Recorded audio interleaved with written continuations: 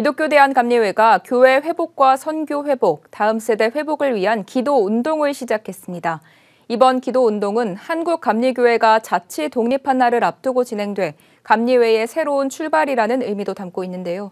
첫날에는 각 연회 감독과 전국 지방회 감리사들이 참석해 기도에 불을 지폈습니다. 조희연 기자입니다.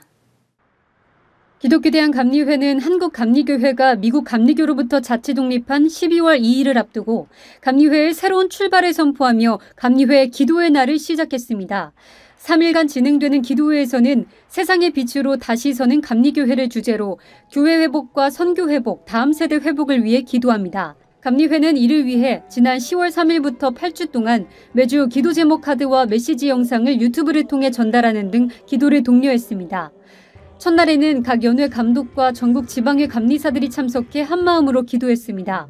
이날 메시지를 전한 서울 남연회 감독인 김정성 목사는 절망과 위기 속에 가장 먼저 해야 할 일은 기도라고 말했습니다. 하나님 께 엎드려 기도할 때에 좌절과 미래의 불확실성이 아니라 소망이 우리에게 새로운 용기가 그리고 주께서 약속하신 약속의 성취가 우리 가운데 이루어져 하나님의 이름이 하나님의 이름답게 온 세상에 선포되는 역사.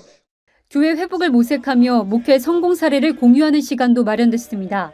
예수마을교회 장학일 목사는 세대 통합 사역으로 알티바이블에 대해 소개했습니다.